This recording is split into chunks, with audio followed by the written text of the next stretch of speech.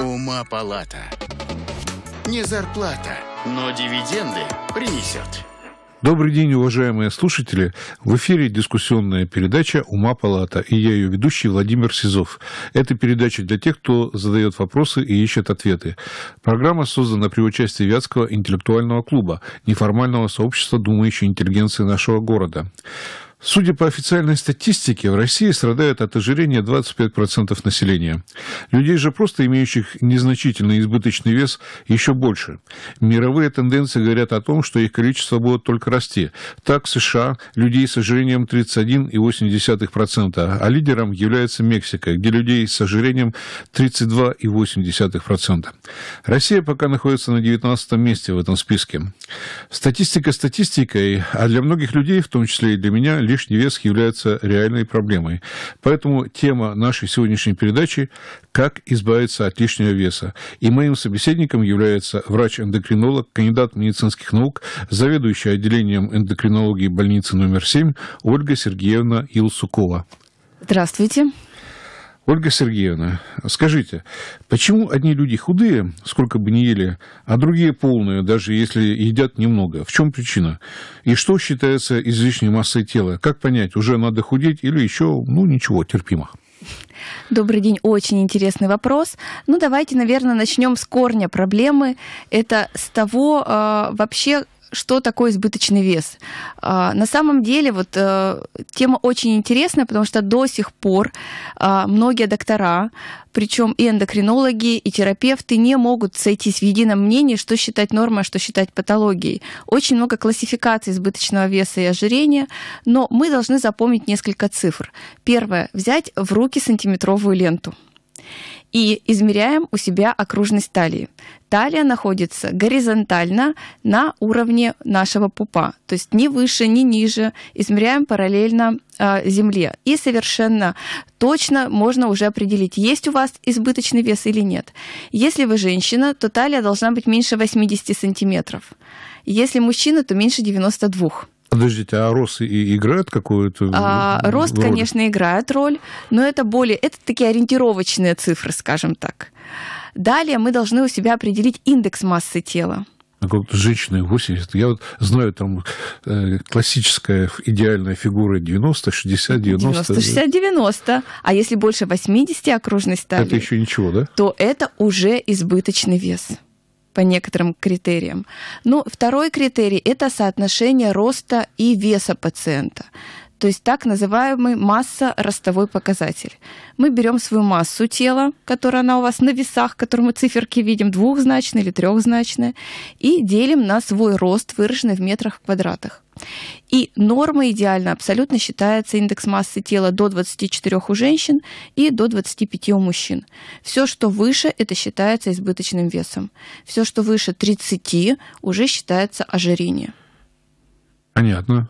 Понятно. Спасибо за прекрасное, То так сказать, точные Берем весы и сантиметровую ленту, но здесь еще вот смотрите, какая особенность. Э, сейчас очень часто используют в научных целях биимпеданс.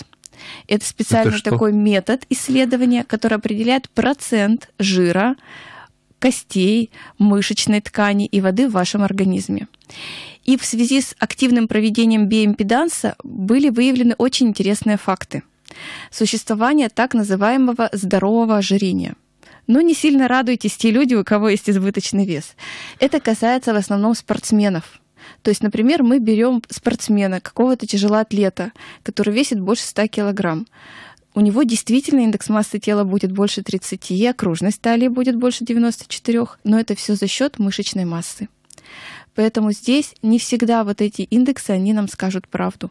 Поэтому третий дополнительный метод исследования, если мы уже хотим досконально изучить свой организм, это исследование биимпеданс, то есть определить процент жирового объема вот этого массы жира.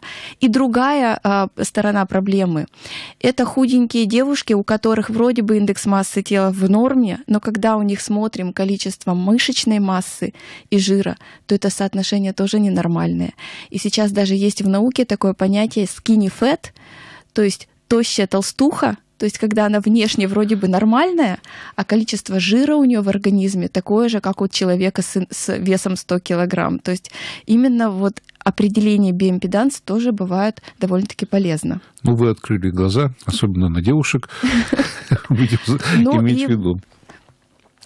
Вот перефразируя шутку Марка Твена о том, как просто бросить курить, как-то он говорил, что нет ничего проще, чем бросить курить, скажу, нет ничего проще, чем похудеть. Я сам делал это раз сто. Я действительно худел более чем на 20 килограмм пять раз. Однако через какое-то время вес, ну вот, к сожалению, возвращался. Даже становился больше. Максимальный срок, в течение которого мне удавалось удержать вес, ну, что-то примерно около пяти лет. Ну, может быть, чуть больше. В остальных случаях гораздо меньше. А потом он возвращался, и я даже больше еще вес набирал, чем до похудения. Отсюда вопрос. Если человек страдает от избыточной массы тела, означает ли это приговор, что с этим ничего нельзя поделать? И вообще, есть ли смысл худеть, если потом набираешь больше, чем было? Очень интересный вопрос. Но действительно, а, худеть надо. И если бы все было так просто, что вот я захотел, например, снизить вес, перестал кушать, снизил вес, и он удержался на тех цифрах, которые бы нам хотелось, ну, наверное, не было бы у нас такого количества пациентов с ожирением, и не занималась бы этим медицина. Хочу сказать, что ожирение является диагнозом, который э, входит в международную классификацию болезней, и многие доктора уже понимают, что ожирение это хроническое рецидивирующее заболевание, к сожалению. Жировая клетка, она не просто вакуоль с жиром, это мощнейшая эндокринная железа. И когда у пациента появляется больше жира, чем нужно, то, ну, можно сказать так, что жир оккупирует организм. То есть он начинает делать все, чтобы максимально укрепиться в организме в таком объеме, в котором он есть. И он это делает через определенные гормоны и нейротрансмиттеры, которые полностью переключают и перестраивают работу нашего организма. Поэтому действительно, если у вас был когда-то избыточный вес или было ожирение до определенного уровня, то есть там 120 килограмм вы весили, в последующем всю жизнь ваша жировая ткань будет стремиться отвоевать этот объем и вернуться всегда к этому объему. И как только пациент начинает снижать вес, как только он начинает ущемлять жировую ткань, она начинает всячески противиться. И поэтому снижение веса и удержание веса — это очень сложная задача. В идеале было бы сказать, никогда не набирать вот этот избыточный вес. Но снижать вес действительно нужно всегда под контролем врача. И правда, это иногда очень сложная, иногда даже неосуществимая задача для э, пациентов, которые худеют в одиночестве, скажем так. И еще момент скажу про ожирение. Вот здесь именно родителям надо обратить внимание количество жировых клеток, которые у человека в последующем могут быть, и их агрессивность, активность закладывается с детства. Вот бывает такое, что ребенка бабушки раскармливают, и вот этот вот критический период до пяти лет. То есть если ребенок до пяти лет был худенький, то есть вероятность, что он потом будет полным потому что тех людей, которые много едят и не толстеют, их практически нет. Вот к вопросу, к первому вопросу возвращаясь. А если, например, рядом была добрая бабушка, которая постоянно перекармливала ребенка, особенно сладким, и уже с детства происходило раздражение жировой ткани, то потом в будущем у человека вот этот вот, как говорится, механизм, он будет только реализовываться. И вот он про будет, жировую ткань. Да. Э, правильно ли я понял, что количество жировых, вот именно, э, вернее, жир накапливается не абы в какой ткани, а именно в специальных жировых клетках, и, и их количество имеет определен, ну, имеется определенное количество этих жировых клеток. Их имеется определенное количество. Человека. Да, а, то есть они активно делятся до трех с половиной лет, эти жировые клетки. И в дальнейшем, когда человек уже начинает взрослеть, они начинают надуваться, накачиваться жиром. Но существует еще определенный критерий, то есть когда человек достигает определенного индекса массы тела, это, вот, например, вес больше 115 килограмм, снова идет посыл, и клетки опять начинают активно делиться. То есть опять не только гипертрофия, но и, как мы говорим, размножение жировых клеток снова может происходить. Поэтому даже если этот жир некоторые пациенты у себя убирают, то он снова из стволовых, вот из этих зародышевых клеток тоже начинает нарастать. Да, сложная э, штука. Но, тем не менее, вы даете надежду на то, что похудеть-то можно. И, кстати, любимая присказка людей с избыточным весом – это «что бы такое съесть, чтобы похудеть?». А правда, что существуют продукты питания, употребляя которые в пищу, мы можем похудеть? Но, во всяком случае, я вот э, слышал, что такими свойствами, например, обладает ананас. Правда, неправда? Ну, про ананас это миф. Это, наверное, придумали продавцы ананасов. И на самом деле эти продукты есть. Но ананасы относятся к фруктам. То есть продукты, которые а, содержат быстрые углеводы, они приводят все-таки к повышению веса, если мы их избыточное количество употребляем. И не надо надеяться, что я сейчас съем какой-то продукт, и я именно от него похудею. Но такая категория продуктов есть. Это те продукты, которые мы чаще всего употребляем мало в пищу, это сырые овощи это грубая клетчатка, это, соответственно, капуста нами давно уже практически забытая, да, а, это морковка, это не вареная свекла, это вся зелень, вся листва. Почему так происходит? Потому что эти продукты требуют варения, пищеварения в нашем кишечнике.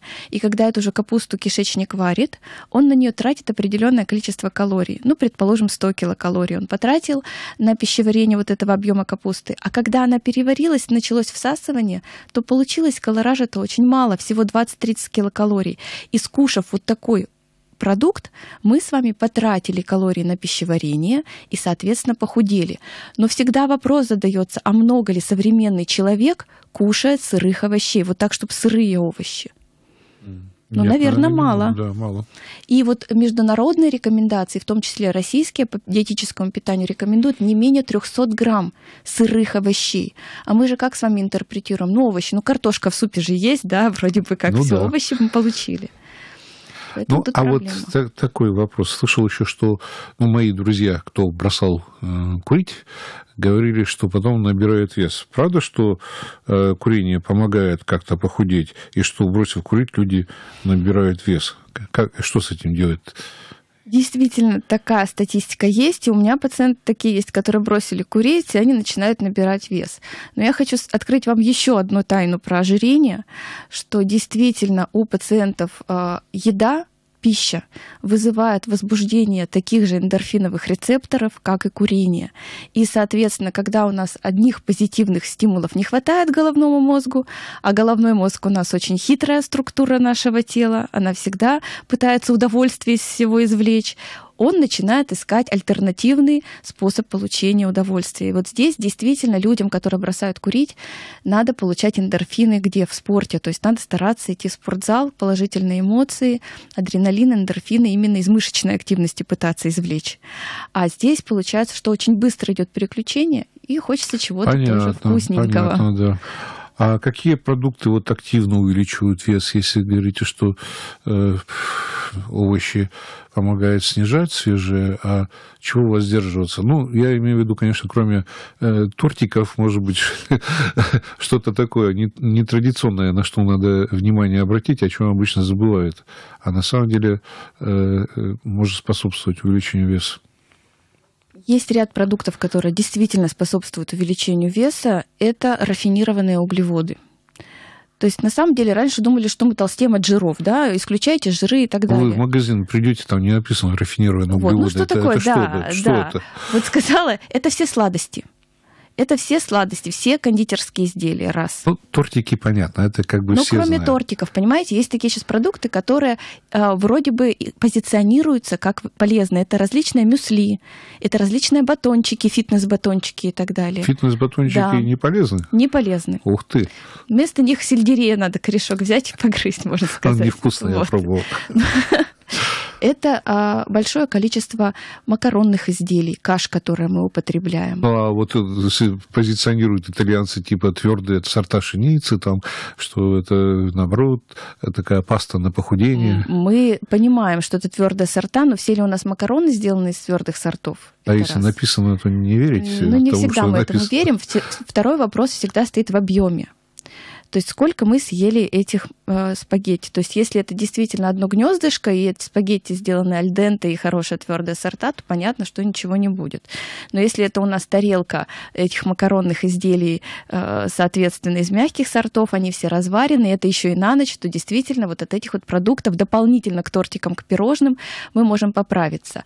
Очень часто еще, кстати, вот к этим продуктам, э, скажу, э, относятся и жидкие молочные продукты, это те йогурты, те творожные десерты, которые позиционируются как полезные, на самом деле там очень много сахара, и там довольно-таки много калорий. И большое количество фруктов, то есть рекомендуют, надо же витамины, да, да, надо кушать фрукты, но это должно быть тоже всегда умеренно. То есть не больше 100, 100 граммов фруктов, перекус три раза в день. Ну, это ни о чем. Это, это ни о чем, это да. на один укус. Вот. Но ни в коем случае там не пол арбуза вечером между делом, особенно в сезон арбузов, потому что там порядка одного килограмма сахарного песку содержится в этом арбузе, если мы так вот пересчитаем. И вот эти вот скрытые калории, как мы говорим, скрытые углеводы, они действительно постепенно-постепенно повышают массу тела пациента. А, ну, например, вот мы выпили лишний стакан кефира или йогурта в день, и это плюс соответственно, у нас сколько? Всего лишь там 150 килокалорий. А что такое 150 килокалорий? Это 10-15 грамм жира на боку в один день, второй день, третий день, четвертый день, это плюс 300 грамм за месяц. Ну, вроде бы ерунда. Это плюс килограмм за три месяца. Всегда говорят, что кефир полезен, что ну, надо Он полезен, но если это лишнее по колоражу уже продукт на сегодняшний день, то это будет А что считать, вот прямо сидеть и считать все, что, все Но калории? если мы хотим удержать вес, или если мы видим, что есть проблемы с весом, то в идеале, конечно, подсчитать бы калории. Ох, да. Ну, очень трудно, судя по всему, похудеть. А может быть, и не надо худеть. Вот если самого человека его избыточная масса тела, ну, особо, скажем так, не напрягает, чем это грозит? Ну, вот ему нравится, и все. Или все-таки надо худеть, что-то связано с заболеваниями какими-то особыми? Ну, конечно, избыточный вес и ожирение особенно связаны с заболеваниями. Мы прекрасно знаем, что э, это огромный риск развития сахарного диабета, гипертонической болезни, инфарктов, инсультов. Ну и то, о чем многие пациенты даже не знают, это и поражение печени, и поражение желудочно-кишечного тракта, так называемое нарушение микробиоты кишечника, которое потом может вести еще и к аллергическим заболеваниям. Поэтому снижать вес надо. Другой вопрос в том, что еще и э, общаясь с гинекологами, например, выясняется, что у нас много ведь проблем еще и с репродукцией э, среди пациентов. И мы не забываем, что избыточный вес и ожирение – это очень мощный фактор, который мешает все-таки нормальному развитию, наступлению беременности и со стороны э, женщины, и со стороны мужчины. Поэтому здесь все-таки мы должны понимать, что вес мы должны держать хороший, правильный. Понятно. А вот э, сегодня в аптеках, наверное, вы знаете, это свободно продаются э, не только различные лекарственные препараты для снижения веса, но и так называемые БАДы. Да? Многие люди покупают их без консультации. Что грешить? Я и сам покупал, в общем-то, такие препараты без консультации с врачом, имею в виду. Вот насколько безопасно бесконтрольное применение таких препаратов? И существуют ли вообще безопасные препараты для реального снижения веса? Ну вот, Владимир Сергеевич, вы сам, сами, наверное, частично ответили на свой вопрос по поводу безопасности. Ну, хочу сказать первое, что такое БАДы. Это не лекарственные препараты, это, по сути дела, вещества или какие-то таблетки, которые не прошли клинических испытаний. То есть их создала какая-то группа ученых, а может быть и не ученых, мы даже с вами не знаем, по составу они должны были предполагать какое-то действие, но ни на одном человеке не было доказано, первое, эффективность этого вещества, а второе, безопасность. Поэтому, когда вы покупаете БАДы, вы всегда ставите эксперимент на себе. Ну, вот не могу согласиться, потому что вот БАДы – это большая группа -то веществ ну, кроме, биологически кроме активных. витаминов, вот. кроме микроэлементов, я говорю конкретно про БАДы по снижению веса.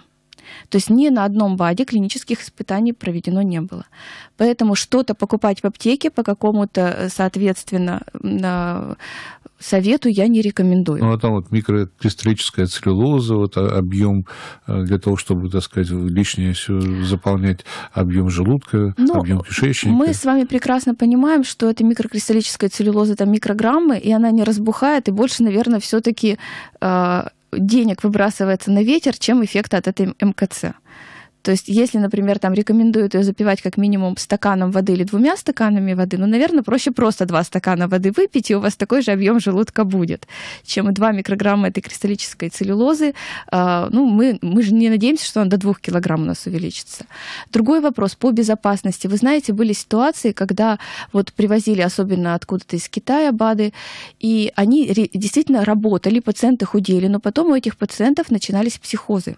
И оказалось, что в этих БАДах для снижения содержатся очень мощные психотропные вещества, которые действительно а, пациент перестает есть, он начинает худеть, у него неплохое самочувствие, но, по сути дела, он находится под наркотическим опьянением. Поэтому вот здесь тоже надо очень аккуратно относиться к этим БАДам, которые вы покупаете. Не знаю, как сейчас, а в 90-х годах было такое тоже э, из Юго-Восточной Азии, может быть, Китая, может быть, нет, не помню, но были такие чудодейственные таблетки, и потом выяснилось, что в состав э, входят яйца глистов. Ну, в том числе, Человек да. худел активно, но... Но он был нездоров уже. Он же был нездоровым, действительно. Ну, и, например, там содержался сибутрамин в огромном количестве, это тоже вещество, которое мы используем в медицинских целях в маленьких дозах, но там, например, в огромных. То, что касается а, препаратов, которые одобрены. На данный момент у нас всего три группы препаратов для лечения ожирения существуют одобренные. Их знают все доктора, практически эндокринологи и доктора, работающие с избыточным весом. А в зависимости от сопутствующей патологии пациента данные препараты подбираются конкретному пациенту. То есть нельзя так, что моей подруге назначили препарат, он помог, дай-ка я такой же куплю, попью. Ни в коем случае это делать нельзя, только после консультации врача. То есть препараты реально помогающие снизить вес, они существуют. То есть это обращаться надо к эндокринологам? Да, эндокринологи этой проблемой занимаются. Причем механизм действия этих препаратов действительно через различные рецепторы, через центральную нервную систему, через влияние на эти же э, центры, скажем так, эндорфиновые, которые помогают пациенту приглушить вот этот крик жировой ткани, приглушить вот эту гиперфагию, чтобы он много не кушал. И тогда пациенты приходят и говорят, слушайте, ну правда, я ведь раньше вот думал, что я ничего не ем. А когда я начал принимать препарат, я кушаю-то, правда, ведь меньше. То есть тогда-то я действительно употреблял еду в большом объеме. И вот как раз, когда выходит на плата вот этот аппетит, мы начинаем с пациентом еще добавлять другие препараты и физическую активность. Но если препараты не помогают, я э, хочу сказать, что мне вот не помогли последние, мою, мою, мою последнюю попытку похудеть, препараты не помогли. Вот что вы можете сказать по поводу э, таких радикальных методов похудения, как глотание внутрижелудочных баллонов, липосакция, резекция желудка или еще какие-то методы такие. Ну, мне кажется, что все они в той или иной степени, во-первых, болезненные и вообще небезопасные. Не знаю, как вы думаете, как ну, специалист. Но... Как специалист, я думаю, и в принципе мы это обсуждаем с пациентами, что это мера отчаяния. То есть, когда уже пациент не может снизить массу тела э, за счет диеты, за счет э, препаратов, но мы видим, что по состоянию здоровья вот эта масса тела, она уже просто нарушает работу сердца, нарушает работу внутренних органов, то тогда мы с пациентами идем вот на такие радикальные меры, как операции на желудке. Причем ведь вы знаете, баллон, конечно, сейчас же в последнее время баллоны эти практически никто не ставит. Все-таки мы идем по пути либо шунтирования, то есть это уже такая калечащая для пациента операция, когда все, весь желудочно-кишечный тракт перекраивается, но там ведь последствия это очень серьезные. Там возникает дефицит многих жирорастворимых витаминов, микроэлементов. Там возникают другие сопутствующие заболевания, типа остеопороза. Поэтому сейчас есть более щадящий вид операции. Но еще раз повторяю, когда приходит молодая девочка 20 плюс и говорит, я не хочу соблюдать диету, давайте мне отрежем желудок, ну, конечно, это все-таки я считаю, что на уровне уже лени, такой лени по отношению к себе. А вот э, про шунтирование расскажите, я это не, не слышал. Такой метод это что? Ну, это когда берут и, по сути дела, соединяют желудок с толстым кишечником. То есть у нас выключают полностью из работы тот тонкий а, кишечник. Укорачивают, укорачивают кишечник. То есть делают, по сути дела, от желудка сразу в прямую кишку. И у человека практически никакие э, питательные... Навсегда? Навсегда. Ну, ничего себе. Вот, то есть такие операции есть. Еще раз повторяю, они мирочане. И есть э, операции, которые просто уменьшают объем желудка. Вот они более, скажем, такие бережные. А про липосакцию вы не сказали, как? Липосакция. Сама по себе липосакция. Она просто убирает вот те раздувшиеся жировые клетки. Но их же становится меньше? Их становится меньше. Но оставшиеся жировые клетки такой мощный гормональный ответ дают, что у многих пациентов после липосакции возникают и проблемы с сердцем, сердечной недостаточности, инфаркты и так далее. И у них еще более иногда бывает жесткий рецидив. Поэтому, в принципе, лечение ожирения это должно быть комплексная ситуация и медикаментозная терапия, и очень мощная работа самого пациента. Если нет эффекта, то тогда можно небольшую частичную липосакцию делать, то есть убирать какие-то объемы жировой ткани. И если уже совсем крайняя мера, то это операция на желудке, но с целью взвесить все за и против. Понятно. Сейчас мы уйдем на короткую рекламу, после чего продолжим нашу передачу. Ума палата. Добрый день, уважаемые слушатели. В эфире дискуссионная передача «Ума палата» и я ее ведущий Владимир Сизов. Тема сегодняшней передачи «Как избавиться от лишнего веса». Гость сегодняшней программы – врач-эндокринолог, кандидат медицинских наук, заведующая отделением эндокринологии больницы номер 7 Ольга Сергеевна Юсукова. Во второй части программы мы давайте поговорим о питании и о диетах – вот существует мнение, что чем меньше человек ест, тем дольше он живет. Как вы относитесь к этой идее? Имеет ли э, вот эта идея под собой какую-то научную почву? Ну, я бы, наверное, сказала, не чем меньше он кушает, а чем рациональнее пациент питается, человек питается, тем лучше все-таки прогноз на его жизнь. А объемы не имеют значения? Ну, если мы будем говорить вот про овощи, которые мы говорили предыдущие, если мы съедим, например, 300 грамм овощей, это будет один колораж и одна польза для нашего кишечника. А если это будет 300 граммов, например, тортика, то тут все-таки абсолютно другое. То есть именно а, объемы каких продуктов мы кушаем, вот здесь тоже очень важно. Ну, ну, хорошо, я вот. вас услышал. То есть вы с этой точки я, зрения с точки зрения, не очень, что, так сказать, я с точки зрения, что совсем голодание, ну, конечно, это нет. Мы зачем едим с вами, да? Мы, мы едим для того, чтобы восполнять энергию в организме, чтобы мы, чтобы сердце наше могло функционировать, легкие, мышцы и так далее. Если человек не кушает ничего, ну, наверное, здесь остается только сесть в позе лотоса и сидеть целый день, ловить энергию с небес, так ведь?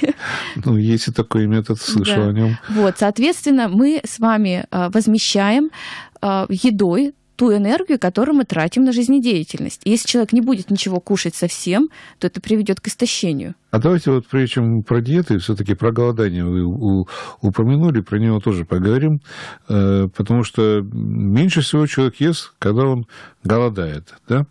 Есть даже методы оздоровления, на, основанные на лечебном голодании, и, насколько я понимаю, это медицинские методы. Они в медицинских каких-то подразделениях вот, у нас даже в Кировской области есть какой-то профилактурий, который э, профессора Неумуакина, так называемый, где там э, практикуется лечебное голодание. Вот как следует к ним относиться? Есть ли польза от голодания?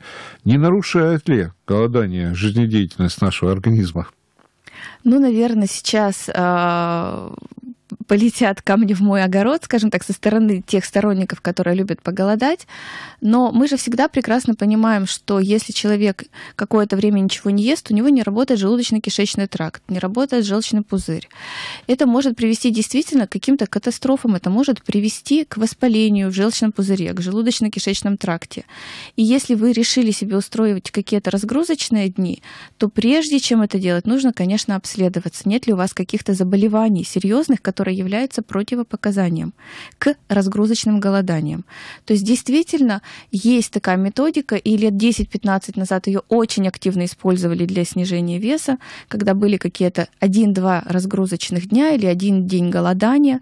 Но сейчас, так как у большинства наших пациентов все-таки много хронических заболеваний, в том числе желудочно-кишечного тракта, большинству из этих пациентов данные все-таки методы противопоказаны. То, что касается длительных голоданий, там по несколько дней и так далее. Но это опять-таки же для абсолютно здоровых людей. Если у пациента есть хронические заболевания, то данная э, все-таки ситуация, она ему не подходит.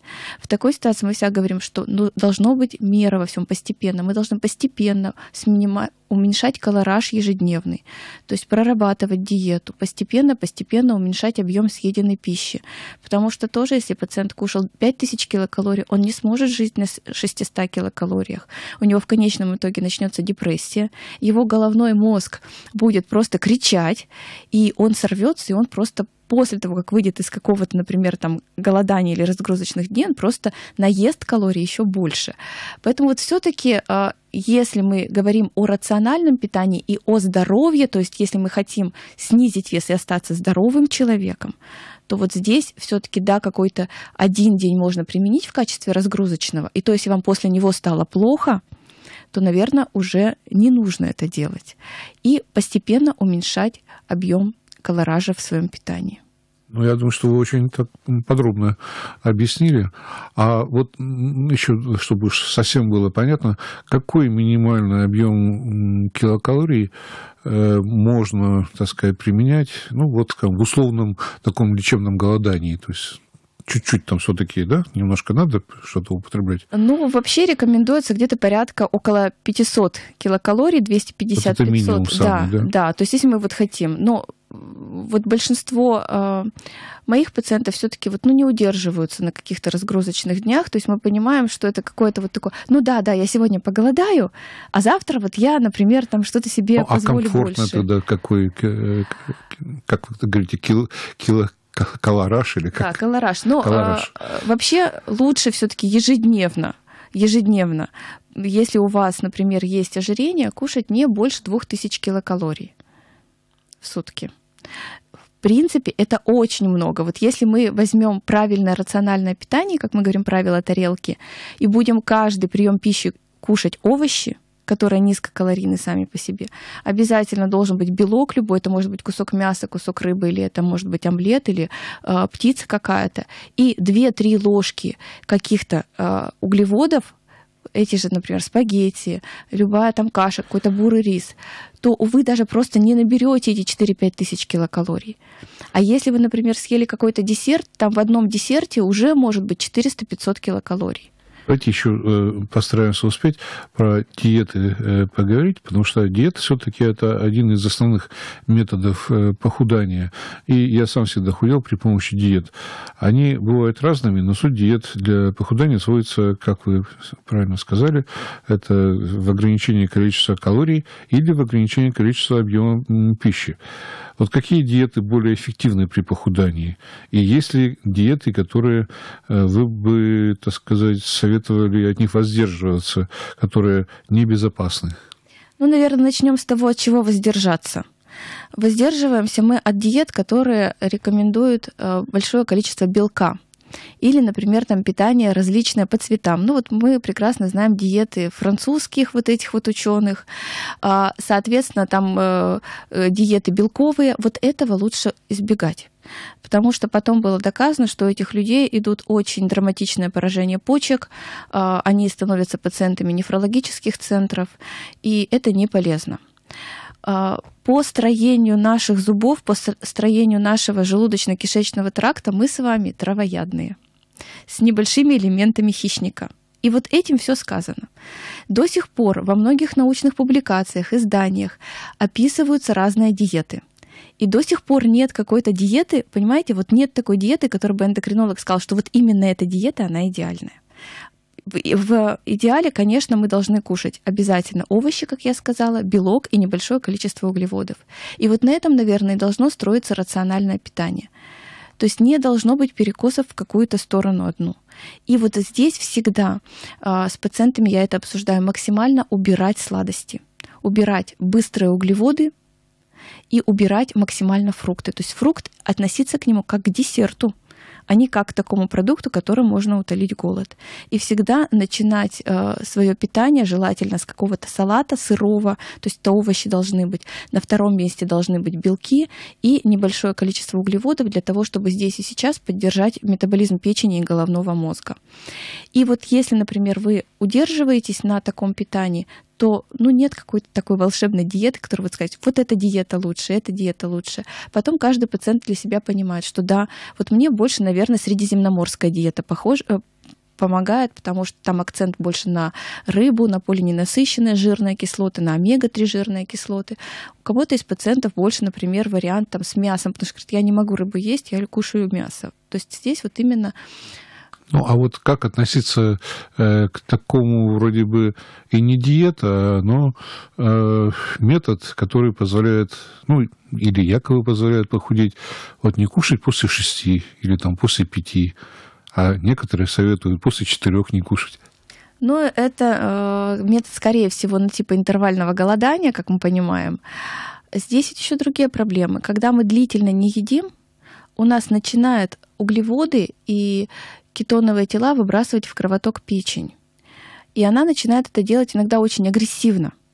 И действительно, а, печеночные углеводы, они активно начинают утилизироваться и превращаться по сути дела, в эти же жиры иногда. То есть, когда мы долго не едим, во-первых, мы создаем во всем организме стрессовую ситуацию, что меня не, е- не кормят. То есть, в следующий раз, когда придут калории, ну, наверное, надо как-то побольше запастись, потому что случилась какая-то катастрофа, и, наверное, вот что-то будет какое-то так все-таки да. ты кушать после шести или не кушать после шести? После шести мы едим овощи, сырые и небольшое количество белка. И не пьем кефир. Не пьем кефир, не едим яблоки, не едим бананы на ночь. Значит, мы принимаем пищу последнюю за два часа до сна. И, конечно, потом мы должны ложиться уже спать. Спать. Ну, а под конец передачи посоветуйте нашим слушателям вообще, куда, к кому обращаться, вот если действительно есть такая проблема э, с избыточным весом, э, ну, куда, я не знаю. Я бы к вам, наверное, пошел. Вы куда посоветуете? Ну, если хотят пациенты, могут прийти ко мне. А вообще у нас э, есть э, центры, которые занимаются снижением веса. В Кирове, к сожалению, такого центра по ожирению нет, но такие центры уже сейчас открываются в крупных городах Москва, Санкт-Петербург, но там в комплексе именно и диетотерапия, и оперативное лечение. Но прежде чем, э, как говорится, идти вообще куда-то обращаться, надо сходить к эндокринологу, чтобы как минимум у вас провели обследование, нет ли у вас уже каких-то проблем, связанных с избыточным весом, и тогда уже активно приступать к борьбе за здоровье, за свой правильный, нормальный вес. Спасибо, Ольга Сергеевна. Напомню, что сегодня у нас в гостях э, был врач-эндокринолог, заведующий отделением эндокринологии больницы номер 7 Ольга Сергеевна Илсукова. Избыточный вес – это бич нашего времени.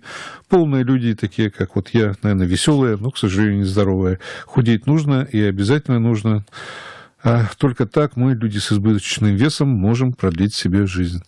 На этом мы с вами прощаемся. До новых встреч. До свидания. До свидания.